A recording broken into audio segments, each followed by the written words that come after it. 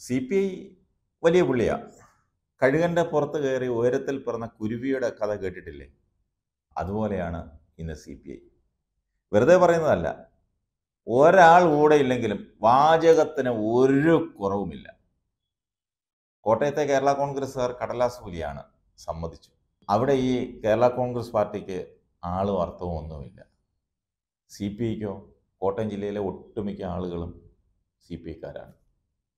അവർക്കെപ്പോഴും ദാനശീലമാണ്. അവർക്കുള്ളത് മറ്റുള്ളവർക്ക് കൊടുക്കും.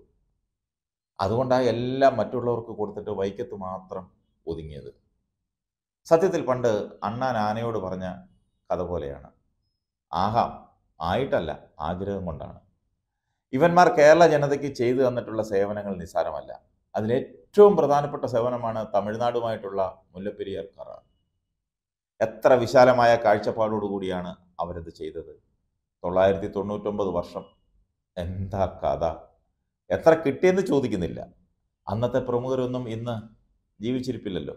ഇത്രയൊക്കെ ഭൂകമ്പം ഇവിടെ നടന്നിട്ട് മുല്ലപ്പെരിയാറിനെ പറ്റി കമാന്നൊരക്ഷരം പറയാത്തത് ഒരു പക്ഷേ സി പി ഐ മാത്രമായിരിക്കും.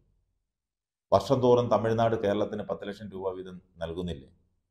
ആരാ അതിന് കാരണക്കാരൻ? സി പി ഐക്കാരുടെ ദീർഘവീക്ഷണം കൊണ്ട് കിട്ടിയതാ. കേരള സംസ്ഥാനത്തിന്റെ നടുക്കഷ്ണം മുഴുവൻ ഒഴുകിപ്പോകുമെന്ന് വിവരദോഷികൾ പറഞ്ഞാലും ആണ്ടുതോറും പത്ത് മുപ്പത് ലക്ഷം രൂപ കിട്ടുന്നില്ലേ? മാണി ഗ്രൂപ്പിനെ ചൊറിഞ്ഞിട്ട് കോട്ടയത്തുള്ള ഒരു മാണി ഗ്രൂപ്പുകാരനും വാ തുറന്നൊന്ന് സംസാരിക്കാൻ താല്പര്യം കാണിച്ചില്ലെന്നുള്ളത് കഷ്ടം തന്നെയാണ്. അതെങ്ങനെ? ഇവനെന്നും കഷ്ടപ്പെട്ടുണ്ടാക്കിയ പാർട്ടി അല്ലല്ലോ കേരള കോൺഗ്രസ്. കെ എം മാണിയുടെ കാലം കഴിയുകയും ചെയ്തു. പണ്ട് കെ എം മാണിയെ നിർത്തിപ്പൊരിച്ചപ്പോൾ ഒരക്ഷരം പറയാൻ ഇവമാരാരെയും കിട്ടിയില്ല. അന്ന് വാബോയ കോടാലി പോലെ ചാനലുകളിൽ കയറി വരുന്ന പറഞ്ഞ മഞ്ഞക്കടമ്പനെ ഇവന്മാർ പുകച്ച് പുറത്തിയടിക്കുകയും ചെയ്തു. എന്തായാലും മഞ്ഞക്കടമ്പൻ ഉണ്ടായിരുന്ന കാലത്ത് പാർട്ടിക്ക് വേണ്ടി എന്തെങ്കിലുമൊക്കെ പറയാൻ ഒരാളുണ്ടായിരുന്നു.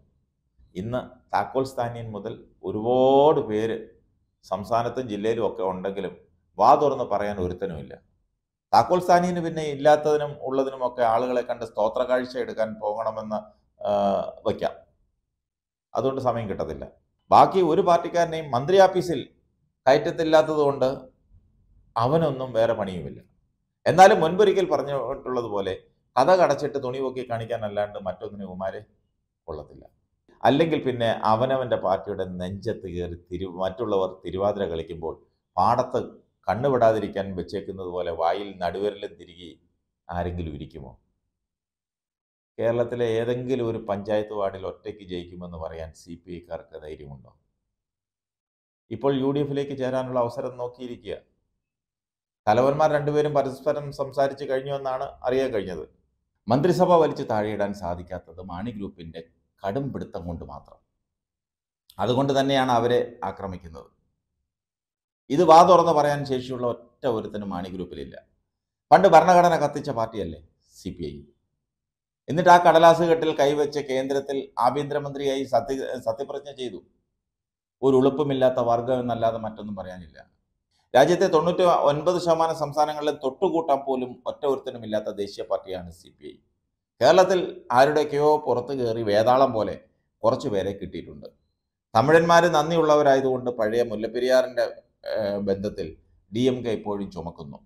എന്ന് വെച്ചാൽ തൊള്ളായിരത്തി തൊണ്ണൂറ്റൊമ്പത് വർഷമല്ലേ തീറെഴുതി കൊടുത്തേക്കുന്നത്? അതുകൊണ്ട് അവിടെയും ഇവിടെയും ഓരോരുത്തരെ കിട്ടും. കഴിഞ്ഞ പഞ്ചായത്ത് തെരഞ്ഞെടുപ്പിൽ പാലായിലും പരിസരത്തും ഒറ്റയ്ക്ക് മത്സരിച്ച് ബലം കാണിച്ചതും ആരും മറന്നിട്ടില്ല. കേരള കോൺഗ്രസ് പിന്തുണച്ചത് കൊണ്ടാണ് അറുപത്തൊമ്പതിലും എഴുപത്തൊമ്പതിലും സി പി ഐക്ക് മുഖ്യമന്ത്രിയെ കിട്ടിയത്. അറുപത്തേഴിൽ സ്വഭാവ ദൂഷ്യത്തിന്റെ പേരിൽ ഇ എം എസ് അന്വേഷണം നടത്തിയത് സി പി ഐ മന്ത്രിമാരുടെ ഒക്കെ തന്നെ പേരിലാണ്. ആരും മറക്കണ്ട. സി പി ഐ എന്ന കടലാസ് പോലിയെ താരതമ്യം ചെയ്യുമ്പോൾ സി എം പി എന്ന രാഷ്ട്രീയ പാർട്ടി ചെറുതാണ്. എന്നാലും അവർക്ക് കോട്ടയത്ത് ഓരോ പഞ്ചായത്തിലും കുറഞ്ഞതൊരു പത്ത് മുന്നൂറ് പേരെങ്കിലും കാണും. സി പി ഐക്ക് വൈക്കത്തല്ലാണ്ട് വേറെ എവിടെയുണ്ട്? സി പി ഐ ആത്മപരിശോധന നടത്തണം. അവനവന്റെ ബലം എന്താണെന്ന് അവനവൻ തന്നെയെങ്കിലും ഒന്ന് അറിഞ്ഞിരിക്കണം. ആയിരത്തി തൊള്ളായിരത്തി എൺപത്തൊമ്പതാണെന്നാണ് തോന്നുന്നത്. സഹ വി എം എസും കെ എം മാണിയും തമ്മിൽ ചില വാചക കസർത്തൊക്കെ ഉണ്ടായി. അന്ന് K M Mani E M എസിന് കൊടുത്ത ഉപദേശം എന്താണെന്ന് അറിയാമോ വൈദ്യ ആദ്യം സ്വയം ചികിത്സ ചികിത്സിക്കുമെന്നാണ്. തൊട്ടടുത്ത ദിവസം ഒരു ദിനപത്രത്തിൽ അവർ ഒരുമിച്ച് ചിരിച്ചുകൊണ്ട് നിൽക്കുന്ന ഫോട്ടോയിൽ വന്ന അടിക്കുറിപ്പ് ഇങ്ങനെയാണ്. ചികിത്സയൊക്കെ ഇപ്പോൾ എങ്ങനെയുണ്ട്? കൊട്ടക്കളത്തിൽ പുളവൻ ഫണീന്തൻ എന്ന് പറഞ്ഞ അവസ്ഥയിലാണ് സി പി ഐ. വെറുതെ ചീറ്റിയും ബേളം ഉണ്ടാക്കിയും ജീവിച്ചിരിപ്പുണ്ട്. മറ്റു യാതൊരു ഉദ്ദേശവും ഇല്ല. പക്ഷെ അവനവന്റെ നിലനിൽപ്പിന് വേണ്ടി മറ്റൊരാളെ കൊച്ചാക്കി പറയേണ്ട കാര്യമില്ല. മാണി ഗ്രൂപ്പ് മുന്നണിയിൽ വന്നതുകൊണ്ടാണ് താൻ ജയിച്ചതെന്ന് പീരുമേഡ് എം എൽ എ പറഞ്ഞത് മറക്കരുത്. എന്തൊക്കെയായാലും കോട്ടയം ജില്ലയിൽ മാണി ഗ്രൂപ്പ് തന്നെയാണ് ഇന്നും കരുത്തരും ശക്തരും. നിങ്ങളുടെ ഇച്ഛയ്ക്കനുസരിച്ച് ഈ മന്ത്രിസഭയെ മറിച്ചിടാൻ കൂട്ടു നിൽക്കാത്ത മാണി ഗ്രൂപ്പിനെ തെറിവിളിച്ചാൽ പേടിച്ച് കൂട്ടുകൂടുമെന്നാണ് നിങ്ങളുടെ ധാരണയെങ്കിൽ ഒരുപക്ഷെ അതങ്ങ് പള്ളിയിൽ ചെന്ന് പറയാനായിരിക്കും ജോസ് കെ മാണി പറയാൻ സാധ്യതയുള്ളത്. ഏതായാലും ജോസിന്റെ പാർട്ടി പോലെ തന്നെ കേരളത്തിൽ മാത്രമുള്ള ഒരു പ്രാദേശിക പാർട്ടിയാണ് നിങ്ങളുടേത് അതായത് സി പി ഐക്ക്. അത് ഇടയ്ക്കിടെ ഓർക്കുന്നത് നല്ലതാണ്. ദേശീയ പാർട്ടി എന്ന അംഗീകാരം നഷ്ടപ്പെട്ടവരും നിങ്ങളുടെ സംസ്ഥാന സെക്രട്ടറി ഇതുവരെ അറിഞ്ഞിട്ടില്ലെന്നാണ് തോന്നുന്നത്.